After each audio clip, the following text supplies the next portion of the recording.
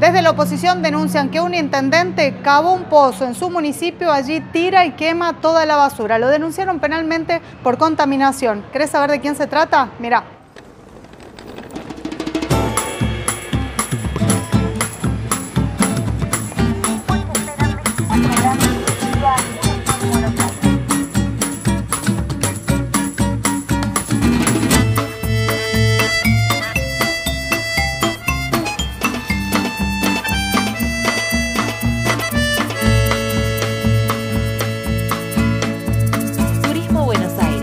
Buenos Aires Ciudad. Efectivamente presentamos una denuncia penal al intendente de Aconquija, el señor Cristian Gutiérrez, por contaminación ambiental.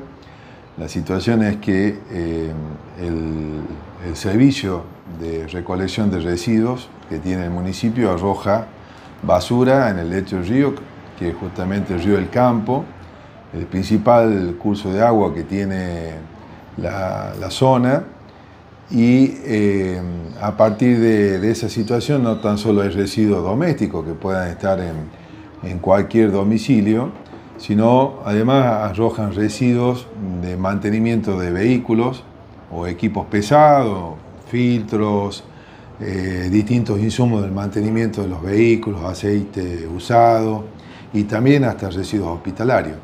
Y esto pone en riesgo tanto la calidad de, las aguas, que incluso parte de esas aguas son captadas para consumo humano, pone en riesgo eh, todo lo que es eh, la, fauna que está vinculada eh, justamente a este cauce y, y, sobre todo genera un impacto paisajístico muy fuerte en un lugar que es hermoso y que su principal actividad económica, aparte de de lo que es eh, la agropecuaria es justamente la actividad turística.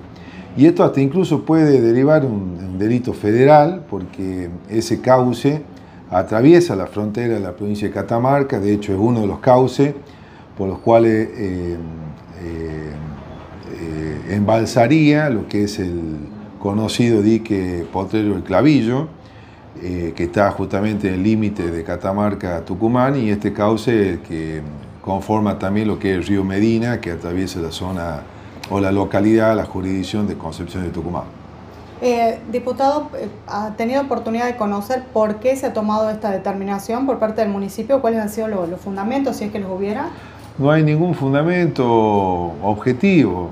Fue simplemente decir, bueno, tenemos que definir un lugar para tirar la basura y no se les ocurrió mejor idea que romper la barranca del río, incluso avanzando sobre la propiedad de un vecino de Aconquija y cuando rompen esa barranca, el material que se genera hacen un pequeño talud para la contención de esa basura, pero en el mismo lecho del río. Y, esto entra en, otras prohibiciones, porque tenemos normativas que, eh, primero, prohíben arrojar cualquier tipo de residuo en los cursos de agua, está totalmente prohibido alterar los elementos morfológicos de un cauce, es decir, no puede venir cualquier persona y decir, bueno, voy al río del Valle y le pongo un pedraplén a la altura de lo que es Van de Varela, porque obviamente que eso puede generar un riego hídrico, tanto aguas abajo como aguas arriba del río, a quienes ocupen la ribera.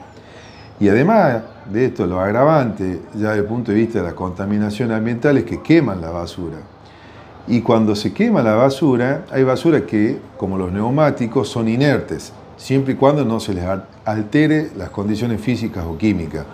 Al quemarlo, se desprende distintos elementos que son parte de la ceniza, de elementos que son contaminantes, que va desde restos de hidrocarburos, porque los neumáticos es un derivado de los hidrocarburos, de los combustibles, y también las gomas tienen metales pesados y esto eh, es un, grave daño al medio ambiente.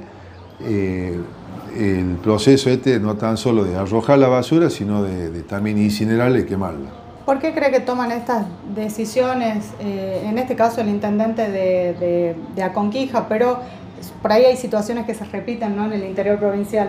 Y hay una absoluta impunidad, una irresponsabilidad, falta de conciencia, falta de perspectiva ambiental y también si podemos ir un poquito más de fondo, en la conquija no se ha dejado asumir a los concejales de la minoría, los de la oposición, eh, a través de un, fallo forzado, por parte, más que un fallo, de una decisión forzada del Tribunal Electoral de la provincia, en donde incluso la legislación habla de la necesidad de que las minorías estén representadas en los consejos deliberantes. ¿Qué permite esto? Que haya control, que haya un equilibrio.